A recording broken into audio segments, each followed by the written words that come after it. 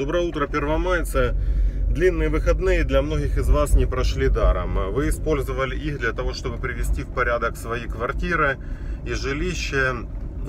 И результатом этой работы стало полное захламление контейнерных площадок для вывоза твердых бытовых отходов. Напоминаю, что крупногабаритного строительного и садового мусора нет в коммунальном тарифе на вывоз бытовых отходов.